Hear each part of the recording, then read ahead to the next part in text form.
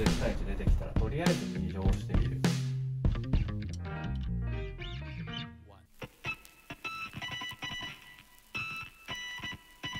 それでは次に2倍の a ベクトル引く3倍の b ベクトルの大きさを求めよっていう問題、はい、これもさっき言ったようにとりあえず2乗してみる。もうこれが本当にベクトルの鍵です。ベクトルの絶対値出てきたらとりあえず2乗してみる。これもやってみましょう。もう計算方法さっきと同じですね。それぞれの、えー、内積を計算すればいいと。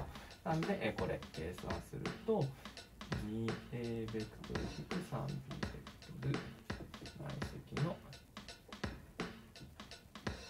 こういう風になります。もう慣れたらここ省略しちゃっていいですからね。もう一気に。慣れたらここ一気に省略してもう次の計算しちゃってください。ってことで4倍の a ベクトルの大きさの2乗引く。12プラス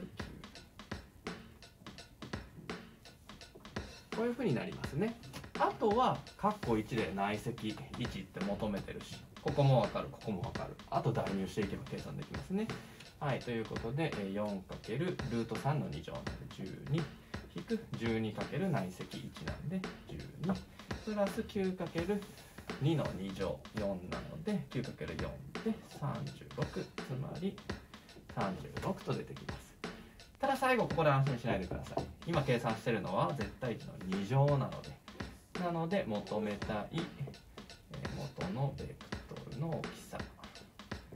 はこれのルートを取ってください。イコール6と。こういうふうに出てきます。